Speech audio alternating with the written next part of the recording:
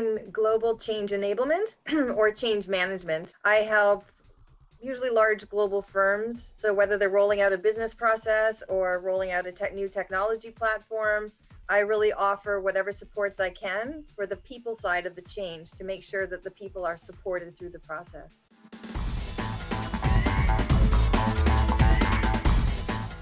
I, I, work in a lot of global roles, so it's very easy to be in the corporate world thinking of your strategies. But I really um, tap into who the individuals are sitting in their chairs, and they're having to manage this this uh, change. So I think of all of them. So what do they need to feel supported as they go through this? So my my higher objective is if you can support people at work, then they would carry that energy with them to their home so that's really my my my higher objective is to help people live flourishing lives inside the organization and outside the organization. Because i have a passion for tapping into the individual's experience then um, really making sure that you see all the individuals in an organization um, it can only add to making a better change management plan. When you hear every voice and you get different perspectives then you'll know if your strategy is targeting one particular kind of audience or if it's really tapping into um, to different perspectives. So the objective in a successful change management initiative is really adoption. So adoption of whatever this change is. And so you get greater adoption if you can tap into as many as many people as you can, which is why uh, inclusion is such an important part of a change strategy. It's not often um, surfaced or articulated. It tends to come into specific diversity and inclusion initiatives, but I personally weave it into my my current work because I see all the people when I do my work.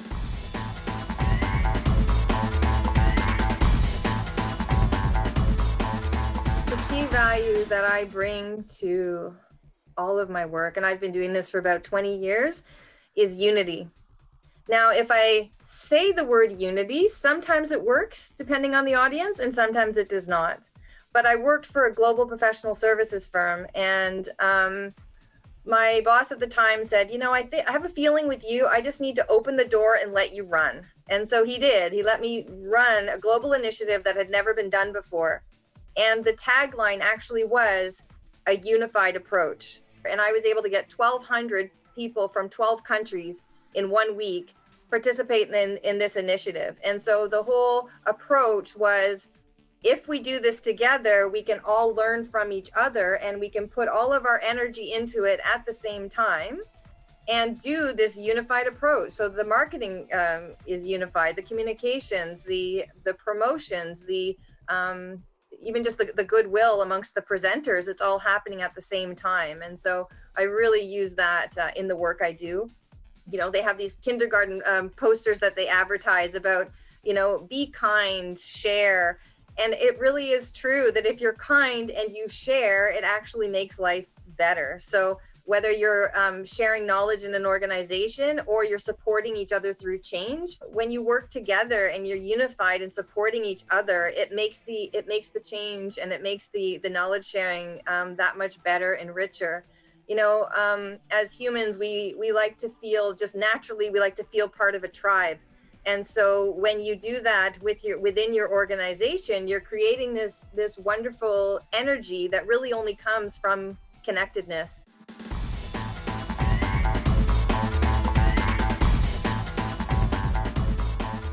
I think a challenge that I've had is I'm a natural optimist. And so, although that's my strength, not everybody is the same way.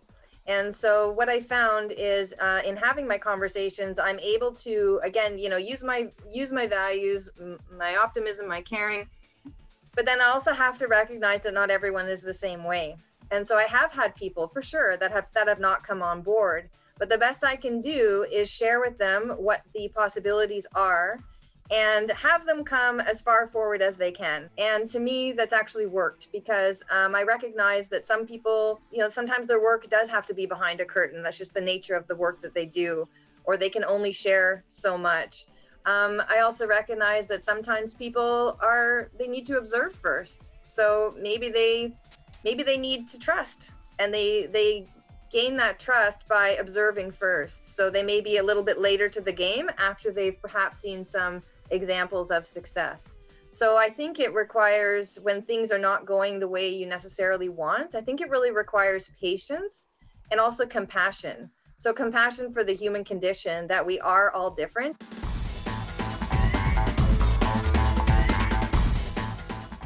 Leadership is a very interesting group.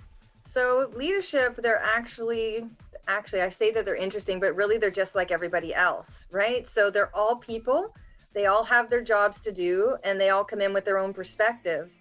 And so some leaders are quite responsive and others they just think, you know, these are rose colored glasses. They don't get it.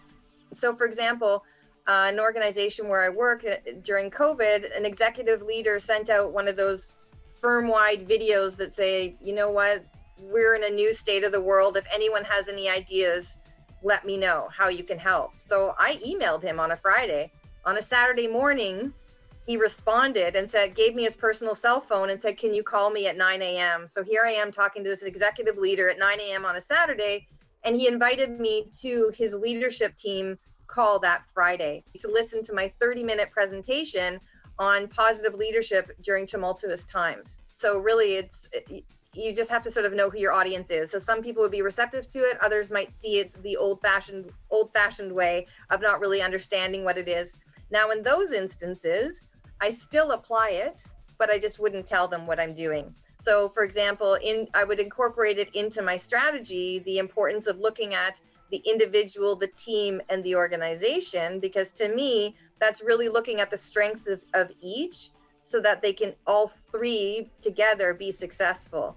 But if I say to them, this is actually an applied positive psychology intervention, whoa, yeah, it'll it'll close the door. So knowing who your audience is and speaking their language, perhaps that's actually probably the best way of saying this is speaking their language. So that first executive leader, we spoke the same language, so I could just talk to him uh, that way, and he was on board.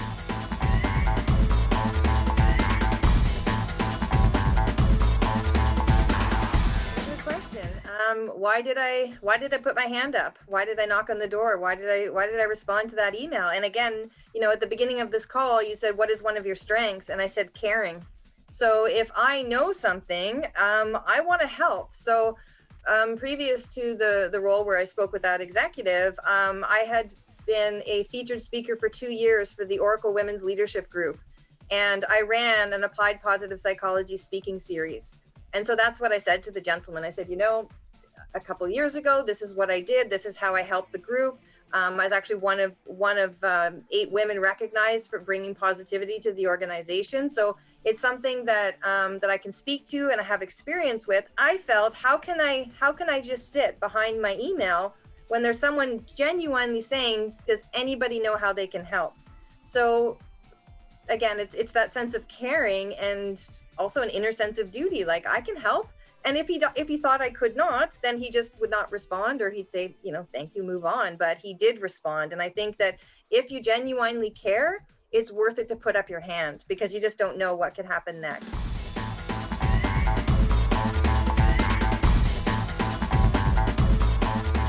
I think what I would tell my younger self is that it's okay to have those conversations. It's okay if your conversation is rejected right? It's perfectly fine if your conversation is rejected, but it's it's worth it to have the conversation because of the joy um, that is received that, that you feel when your idea is accepted and then also of course the momentum that happens when two people are inspired from a conversation um, you really can can do so much together so i would say don't worry about having your your conversation rejected because the the risk is worth the reward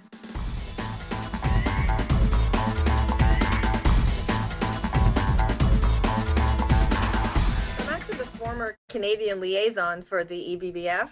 Um, back in, I believe it was 2007, there were a group of people in Toronto, a group of professionals that really wanted to create a Canadian leg. And we started in Toronto, the Toronto area, and um, I was just really inspired by it. I loved being able to have co- these kinds of conversations with like minded people that you don't necessarily get to meet uh, at the water cooler or these days, you know, the virtual water cooler. So I really liked being able to uh, engage in that level of conversation with people who really do have a higher purpose when they're at work and they they apply it um, through their own skill set. They apply it in their own way, but they're still applying it. So I really enjoyed um, that part of the the, the Canadian uh. And then, of course, I got to go to Acuto. So I was able to go to one of the European events and meet people from all over the world. And um, then virtually here with the EBBF, you can still stay connected. And uh, it's just nice to know at the end of the day. You know, we tend to, we can do a lot of our work in in isolation, or maybe we'll share, you know, with the family or some loved ones. But how wonderful it is to be able to feed off of each other um, these ideas and have these exchanges at a, at a high level that you don't really get necessarily many other places.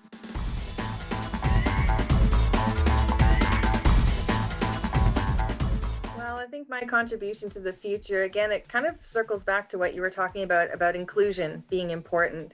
And that is that I really feel I really want every voice to be heard.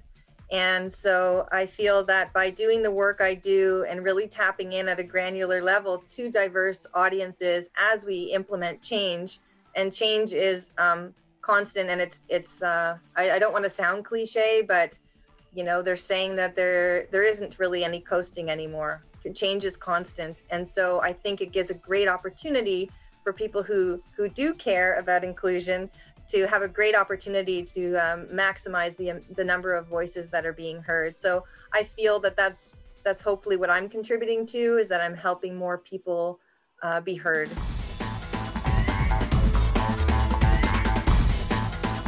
I, I would just like to ask others who may be listening, what do they need? Like, what do you need in order to be heard yourself? What is in your mind and heart that you want to convey at work that you can't.